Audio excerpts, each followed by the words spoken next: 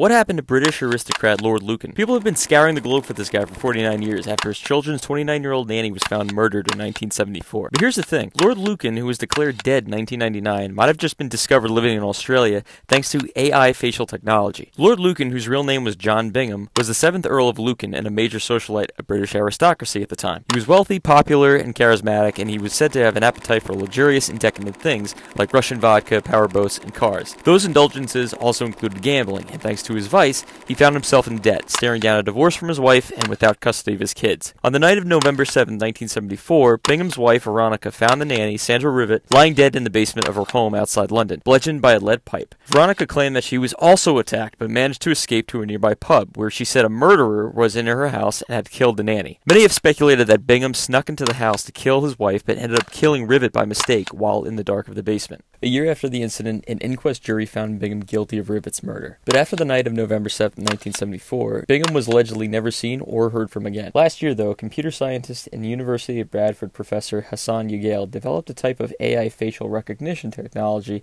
he says might have actually found Bingham. Ugail, with the help of Sandra Rivett's son, Neil Berriman, compared photos of Bingham from the time of the murder to photos of a man living in a Buddhist community in Australia who was suspected to be the aristocrat. After comparing the photos, Ugail's algorithm came to the conclusion that these pictures belong to the same individual or someone who looks extremely like them, like identical twins. Ugail says that while it's impossible to definitively say it's Bingham, the issue should be certainly looked into further. According to The Guardian, the caregivers for the 87 year old Australian denied he was Bingham, and it's unclear if any further investigations will occur. But for now, people will continue to wonder